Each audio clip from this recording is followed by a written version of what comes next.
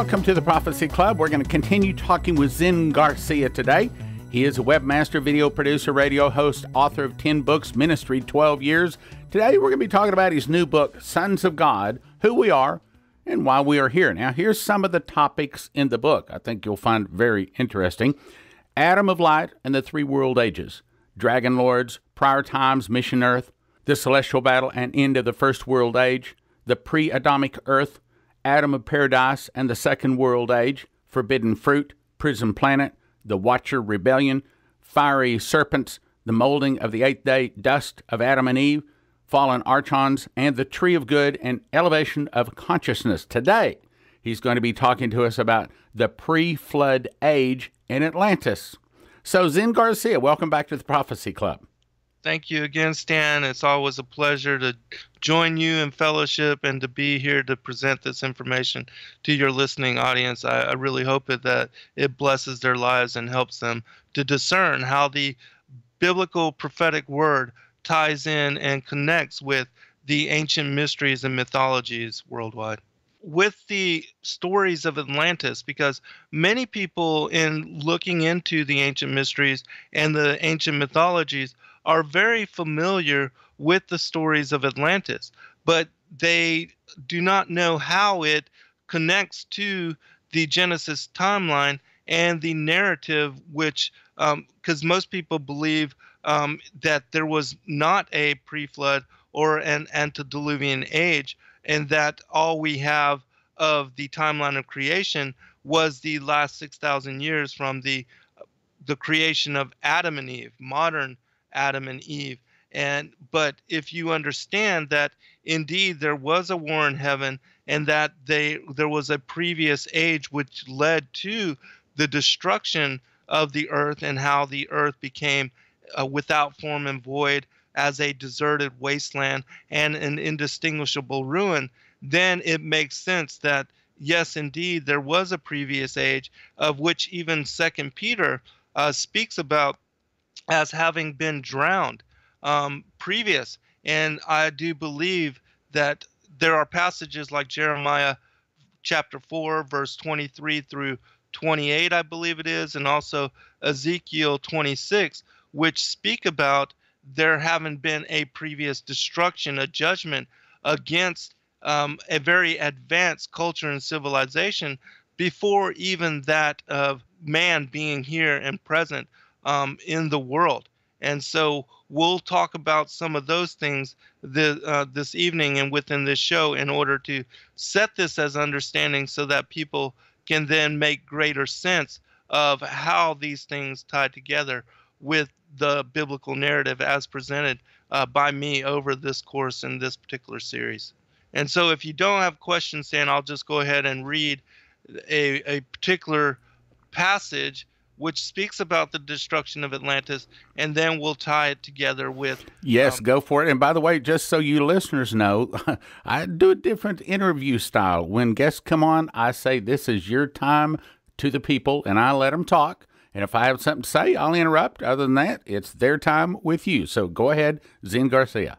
Well, I really appreciate that, Stan, because uh, it takes a lot of time to set up the premise for this. Well, let me and just so, ask you on that. With other radio interviews, do you not find yourself saying sometimes, well, did you invite me to talk? Are you going to do all the talking? well, yes. And then also because um, a lot of people, because it does take time to establish the premise of what it is you want to bring forth. And there's a certain outline you have to go through in order to get to the end but yet um, other show hosts they want to interject questions or they want to uh, uh, field questions from the chat room and that can disrupt the flow of thought exactly. and also the presentation. Exactly. So, again yes. my heart is if i have something to say i'll interrupt or i'll put it in a whole nother program. Uh, but I, this is your time with the people so you go ahead and talk. Well i appreciate that. This is from a book called The Scroll of Thothis, and the I'll bring these short. Um, well, it's a little bit lengthy, but uh, it will establish the premise for what we're talking about. And this is about the destruction of Atlantis. And this is a text that most people have never heard about and never had chance to read. It says this In the book of beginnings, it is said, The generations passed, and a vast amount of knowledge and wisdom was accumulated and preserved in purity. It was the heritage of mankind, but though man had learned to cherish the light of truth and walk wisely with it, nevertheless, then as now, false priesthoods flourished. They pandered to the carnal desires of the underdeveloped and exploited the weaknesses of the ignorant. Their iniquity built up a vast weight of evil in the netherworld, which projected itself into the material of earth, so that the powers which upheld it became unstable. This caused all the southern part of the old land to sink down into heaving waters. This disaster was brought about by the ascendance of evil. Rites which awakened the dead were rife among the carnal minded and ignorant, while those who remained steadfast on the harder road of spiritual development had fixed their eyes on the light ahead, ignoring the pitfalls at their feet. It was then, even as now. Will man ever learn? This was the aspect of the disaster, as written in the book of beginnings. There were openings in the land from which evil vaporous poured forth as a mist, descending upon the people like a mantle. It spread out and covered the whole face of the land.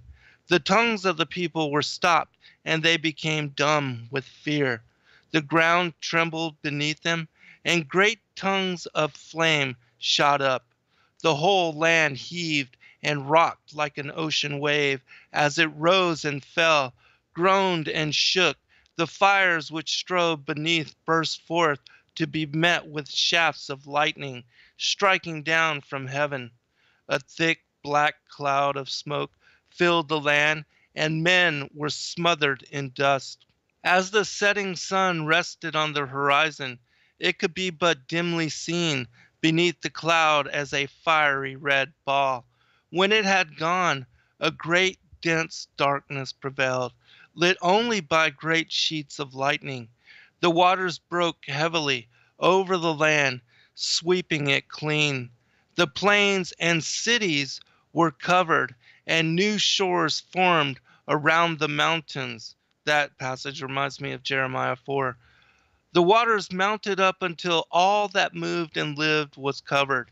The land was submerged.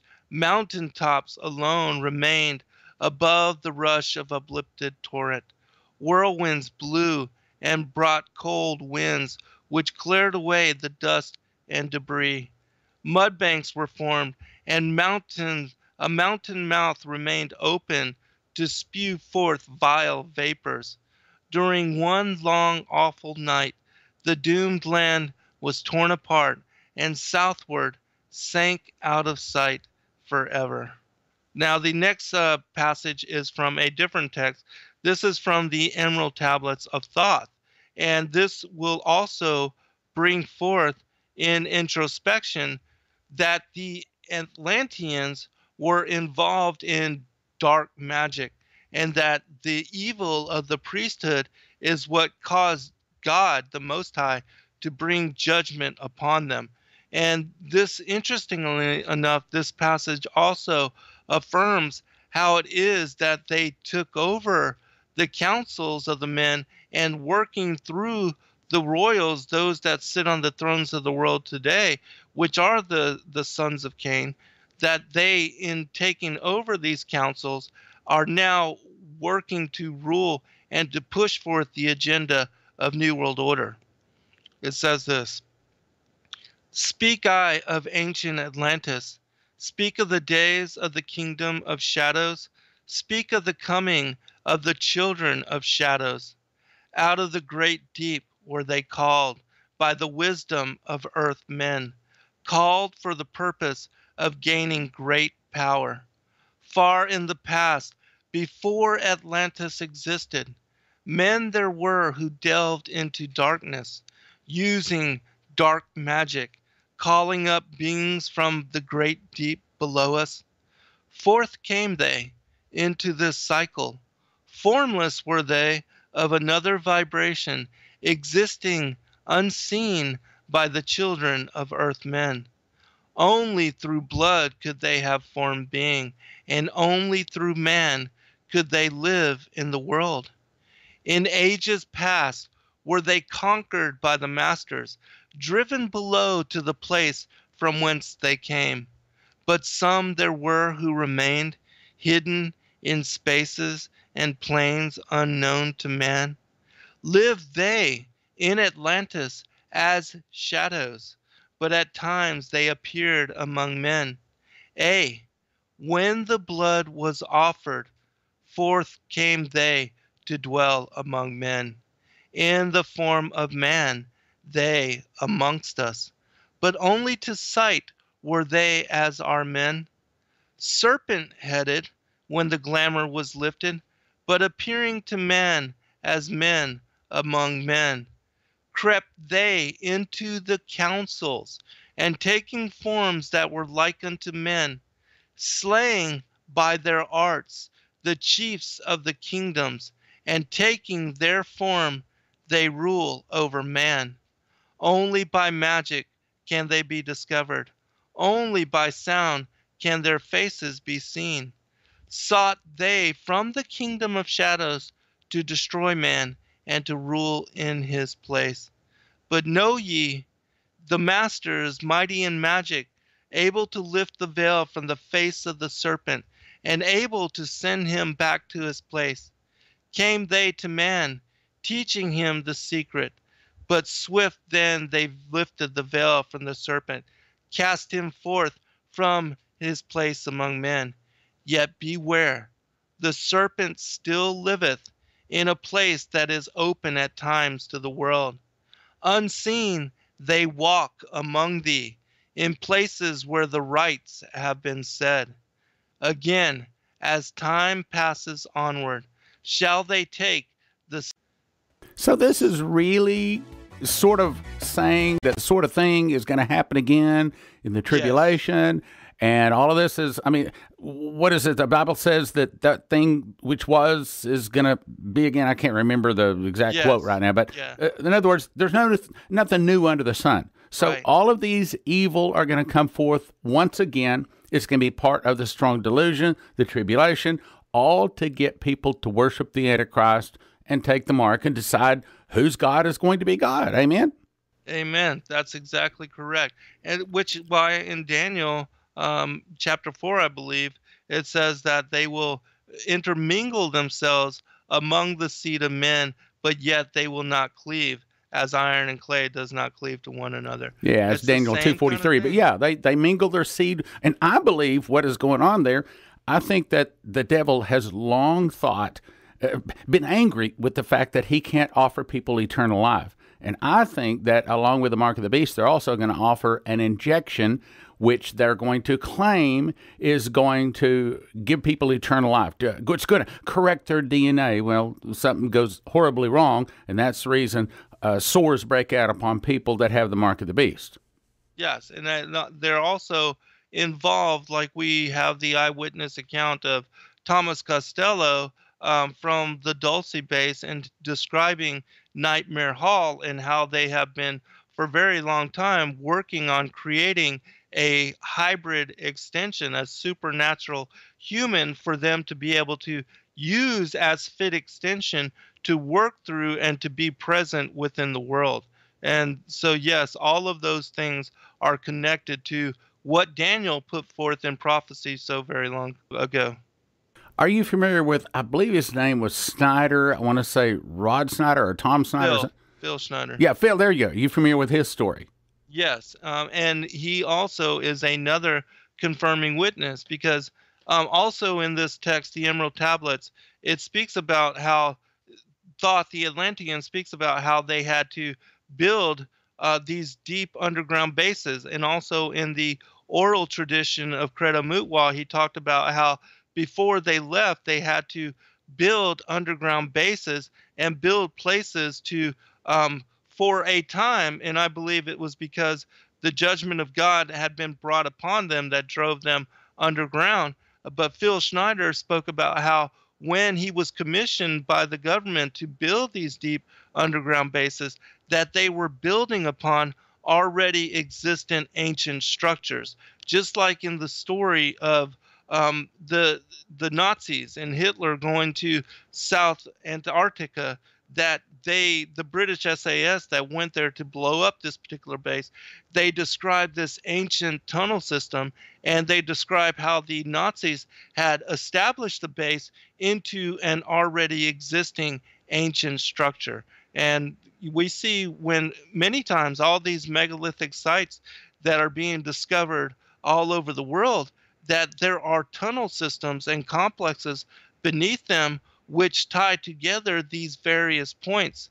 Um, and it's my opinion that all of these sites and these megalithic structures and the underground tunnel systems were built by these rebel angels and the, the fallen ones previous to and the fall of Adam and Eve and the modern 6,000 years of the last era of history. Obviously, you can tell he knows a lot. Now, I'm going to throw a twister at you. What do you think? Because obviously, you know a lot uh, from the beginning. So, obviously, you know a lot about the last days. So, what do you see? Kind of where are we? What do you see happening? Sort of between now and January 20th? Do you see anything big coming on the world? Is there something you see in the next three to six, nine months, inside the next 12 months for sure? What do you see coming? Well, I think um, that disclosure is what is being set up and established. And just like with the ancient alien, um, that being the number one show throughout the world, that it is laying the foundation that not only that the rebel angels are our benefactors and our creators, but that they are the saviors and that they are coming to save us from ourselves. And, you know, we know that Satan, he counterfeits everything. He knows through the prophecy, uh, through the biblical word, that Yeshua is the true Savior Messiah and that he is coming to save his people from the wrath of God that is going to be poured out on the wicked. And so he wants to counterfeit that and he wants to present these ancient aliens, the Antichrist, Apollyon, Abaddon, as this particular savior.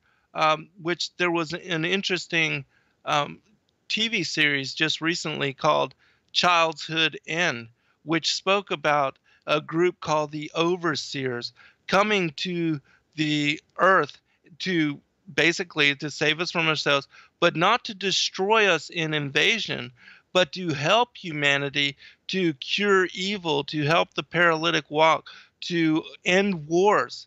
As it says that, you know, the Antichrist himself will be able to do these supernatural things, call down fire from the heaven, and to unite the world in peace when we, uh, as humanity, have not been able to do so. Uh, and that's been largely in part because of the controlled opposition of the New World Order and the inner workings, the shadow workings and leanings of the New World Order through the Freemasons, as um, as uh, Credo Mutwa spoke about them actually worship worshiping these beings, uh, that they in fact do worship Satan, and it's my opinion that that is because they are directly connected to him in bloodline and lineage, and as I read a long time ago in a quote, I confirmed that through their own words how they do not believe that their father was Adam, but that he um, it was in fact the serpent, the Nachash, the feathered serpent uh, of Genesis chapter. Okay, then let's go back to my question. So, what do you see in the next year or something, or do you even see anything of significance happening? Well, in specific, I I don't know as far as a particular specific event, but I do believe that with the coming up of uh, Pope Francis, I believe that he is the last Pope Petrus Romanus, and that it yep. says that in this particular time that the Antichrist will be established and revealed, and that behind the scenes right now, all of that is being established, being set up, and that we know that the focal point for that will be Jerusalem and that eh, according to Albert Pike's vision, that there will be this controlled opposition, this third war that is established in order for the Zionists and the Christians to fight against the right. mu- Muslims and the fanatics, and that afterwards, after they wear themselves out and destroy themselves, then that the communist atheist countries will be established to step into the power vacuum. Uh, and that, of course, the world be, will be united under the United Nations because they are the seat of world government, and that the Antichrist will be brought forth and given over, granted authority over this international organization. See, I I see exactly what you're talking about, and though I'm praying hard that Trump gets in, prophetically, also in the timeline, as I look through my understanding of what the Bible and the prophets have said, I just can't see him getting in. It's like he would be too much of a delay to their timeline. However, I hope that delay happens. Any comments on that?